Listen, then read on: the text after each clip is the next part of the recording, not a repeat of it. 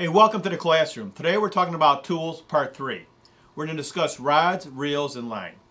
You always want to use the best tool for the job. That is especially true when discussing fishing equipment. When it comes to fishing rods and reels and lines, we have a lot of choices.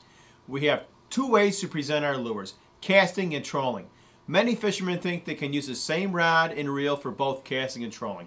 For the best control, we need to have a separate rod and reel for casting and for trolling.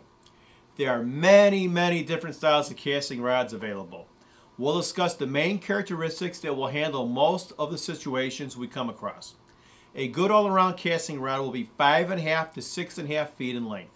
The action should be stiff. Many fishermen select a rod that is more like a noodle or buggy whip. You will have much better control with a rod that is stiff with a lot of backbone.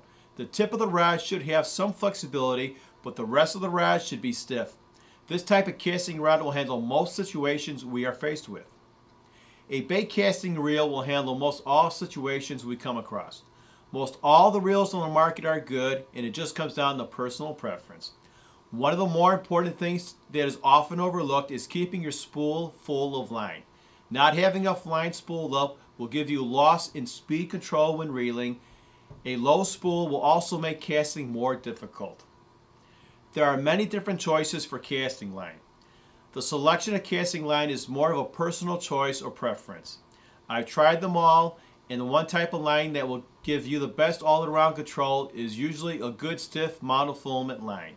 12 to 15 pounds will handle most situations. Lighter pound may result in a loss of control and tackle. When selecting a trolling rod, we're looking for a tough, rugged rod. Not that long and not that limber. A good trolling rod will be stiff. A rod that is limber and whippy will not give you much control or feel. With a limber rod for trolling, you will lose a lot of tackle and a lot of fish. A rod with stiff action will give you much better control and feel. Usually the shorter rod will be easier to handle. A rod that is 4.5 to 5.5 feet is usually preferred and will handle most situations. A good trolling reel will be a level wind bait caster, similar to a light saltwater reel.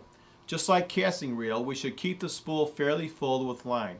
Some of the spools can have a large capacity, so putting a backing on it would be used in those cases.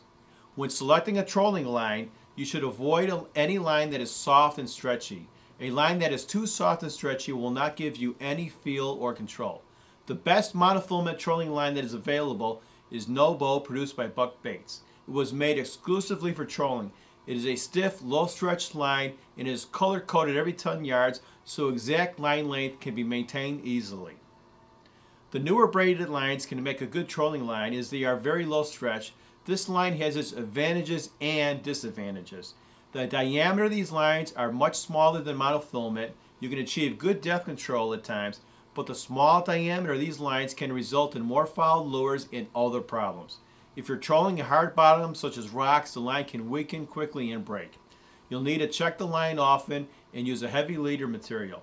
To achieve greater depths while trolling, wire line can be used.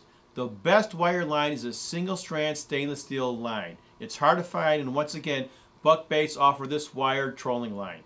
Great care must be used when trolling with wire line. In future classroom sessions, we'll discuss in detail how to troll with wire line. For more information on this classroom subject, as well as any others, check out structurefishing.com slash education.